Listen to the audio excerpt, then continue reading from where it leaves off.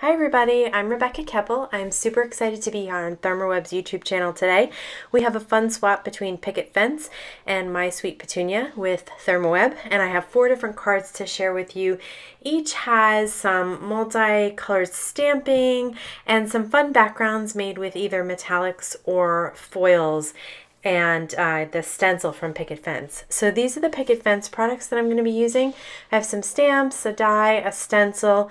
I also have some cardstock from Gina K Designs and the ThermoWeb Metallix. This is the Pixie Spray. I'm going to spray just a little bit of that on the back of the stencil, that will just temporarily adhere it to my cardstock so it doesn't move around and I can get a really great application of the metallics over that stencil when it's not sliding around. I'm going to take my palette knife and put some of the white pearl metallics on the edge of the stencil pal and then I'm going to apply it to the stencil.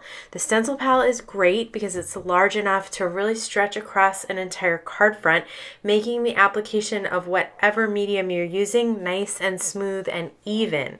And it doesn't take a lot of work to get it over the entire stencil.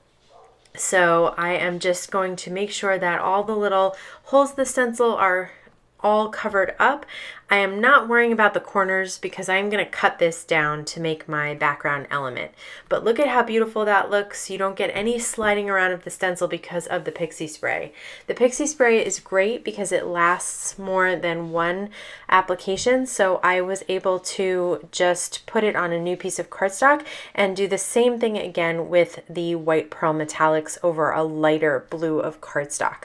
And I just wanted to show you the difference between those two. I think it's really, really pretty no matter if you're using it on light colored cardstock or dark colored cardstock. It's just a really pretty white sheen.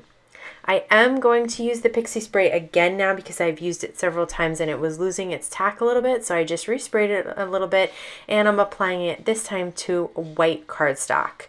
This time I'm going to use the Deco Foil Transfer Gel. This is great for either applying foil or flock. This time I'm going to use foil and I'll show you how that works. So you're just going to apply it just like you would the metallics gel and then set it aside to dry. When it's clear, you know it's dry.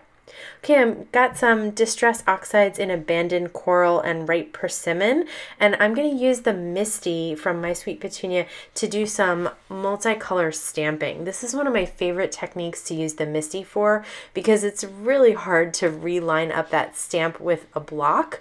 So if you have the Misti and the stamp is staying in exactly the same place, you can have a lot of fun with inking up your stamp with multiple colors. And I love the way the coral and then that orange from the persimmon look together.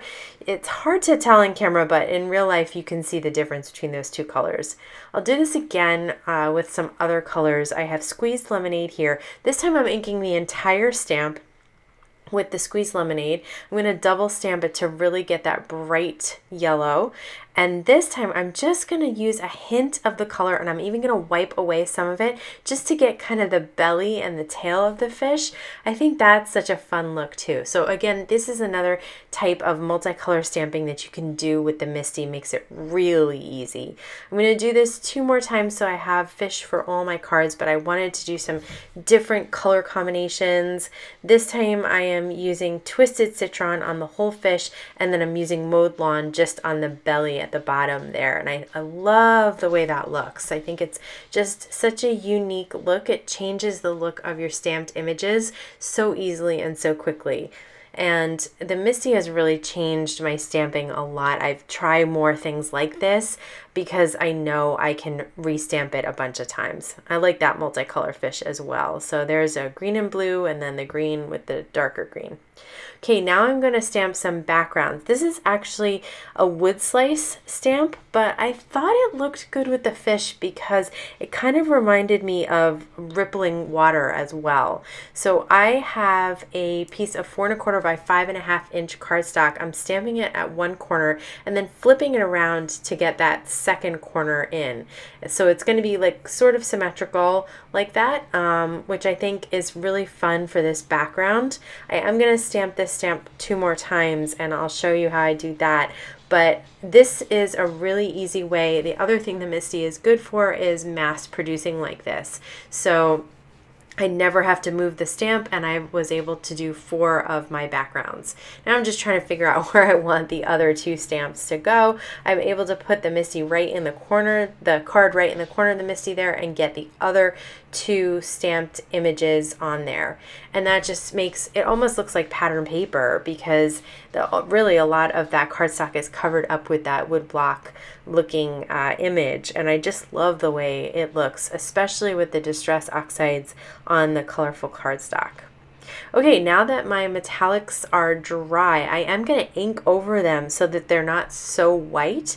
I just wanted to add a hint of blue on top there, and I think that using the Mermaid Lagoon on the lighter blue, and then I'm using um, Blueprint Sketch on this one, and then I'm going to use Chipped Sapphire on that last one there. Just a different effect and this way the white does not look so stark on the colorful cardstock. I really like the way those scales look even with it just the white. I think it's really pretty. Okay, now I'm going to use one of the Thermoweb Gina K Designs circle dies to cut out one of those metallics backgrounds. And I am going to cover up the uh, transfer gel with some rainbow shattered glass foils. So I'm just cutting two pieces of the shattered glass rainbow foil down to four and a quarter by five and a half, just a little bit larger so I can make sure it covers that whole panel. I'm going to put it inside a parchment paper sandwich and put the edge of the folded edge into my laminator, which is nice and hot. I'm going to set up my second one and just show you how beautiful it is when you peel and reveal that beautiful foil. Okay, now I'm going to stamp some sentiments. I'm going to use the Misti for that as well. This way I can get all four sentiments stamped at the same time.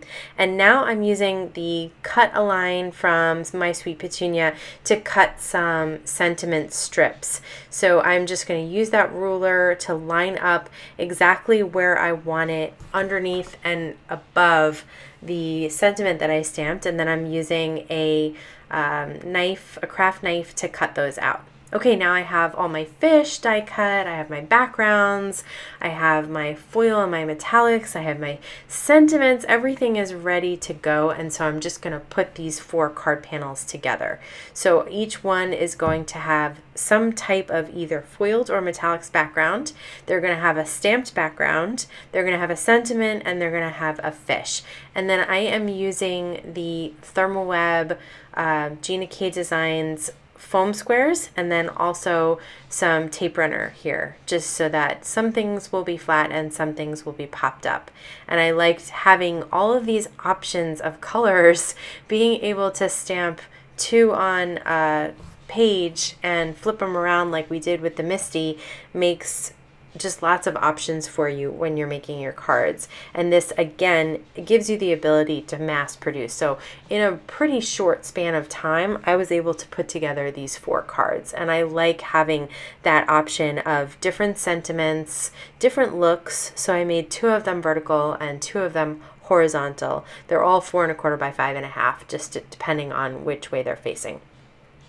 So for this sentiment strip, I am going to just cut the little flags in the end there by cutting in the middle and then cutting the angles towards that middle. Again, I am adhering it with some tape runner and then deciding to pop up this time the sentiment. I always like the fish popped up. I think they're just so cute and I don't want them to get lost in all those pretty backgrounds that we made. So I do like to uh, adhere them with dimensional adhesive. For this one, I actually cut the scales into sort of the shape of a heart. Um, you can just kind of see that that shape there and I just hand cut that. And now again I'm going to pop up the sentiment and the fish and that completes that one as well. The last thing to do is just apply them to some card bases. So I have some white card bases that are five and a half by four and a quarter and that is it. So just a couple of ways to use the metallics and the foil to create, instead of a whole background, some background elements and combining them with both the Misti and the Cut Align from My Sweet Petunia and some fun stamps, dies, and stencils from Picket Fence. So if you're interested in any of the products that I used today, they will, as always, be linked down below. I want to thank you so much for stopping by today. Have a wonderful day.